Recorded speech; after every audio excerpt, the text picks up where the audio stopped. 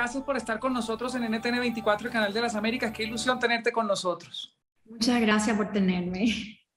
Sabemos que todos los proyectos que has elegido a lo largo de tu carrera y tu trayectoria tienen mucha magia y tienen mucha pasión. ¿Qué tenía Maya y los tres que te motivó a decir sí? Jorge Gutiérrez, que es, es, em, es, un director y un, y un, escritor con una imaginación tan bella.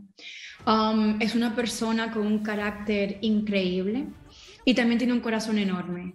Él, él ha dedicado su, su, carrera, él y su esposa Sandra, que también es, tienen la igual, la igual, el igual de talento que lo tiene él, se han dedicado a su carrera a a tomar como prioridad a la, audiencia juvenil, you know, infantil, para, para sus historias. Y, y, yo, yo siento que es una audiencia que, que algunas veces excluimos mucho de nuestras narrativas, pero cuando hay buenos cineastas que lo saben capturar, hay que darle apoyo de una manera también de, del otro ángulo que yo tengo es, soy un poquito biased, pero a medida que voy creciendo en esta carrera y ya tengo ya dos décadas trabajando en Hollywood, crece en mí la importancia de conectar con personas de mi comunidad y poder colaborar con ellos para poder decir historias que aunque sean, aunque sean o no de mi cultura, pero que, que nos demos ese apoyo y, y, nos respaldemos mucho más. Entonces, ah, eh, para mí, en todos esos niveles, el poder colaborar con Jorge otra vez fue un sueño. Además, en un proyecto que mezcla de manera magistral la cultura maya, la inca, la azteca, inclusive le pone ese toque caribe. ¿Cómo fue trabajar con todos esos elementos y darle voz y vida a Maya?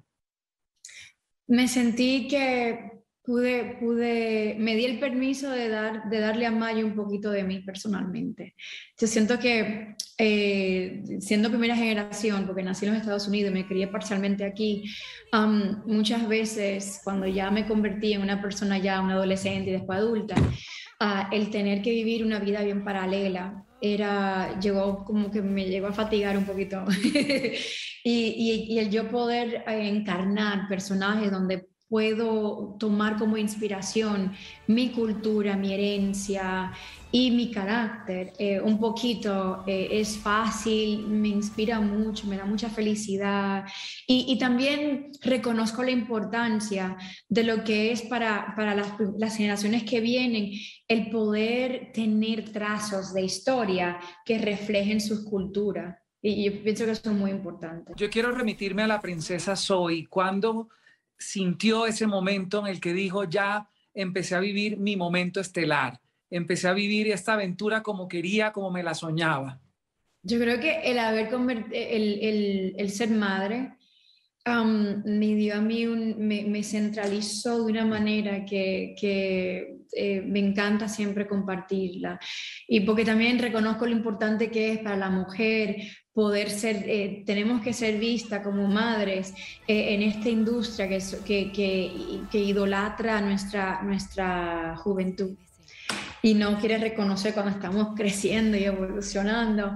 Y yo siento que una mujer cuando elige, cuando, cuando de verdad está en ella ser madre, Ah, y se siente más, más centralizada, más entera, eh, eso se, se, refleja en todo lo que haces en la vida. Entonces, en mi carrera siento que tomó un, diferente plano, que me siento más en paz con eso, porque eh, puedo darle más a mi corazón, más de mi corazón a las cosas que hago, pero también soy más selectiva porque mi tiempo ya no está completamente dedicado a mi carrera, sino que mi tiempo eh, eh, tiene que ser más dedicado a mi casa. Entonces, todas las elecciones que hago con mis papeles tienen que servir un propósito más grande que la vanidad que yo tengo personal como actriz.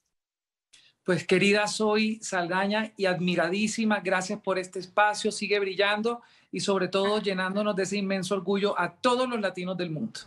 Muchas gracias. Un abrazo.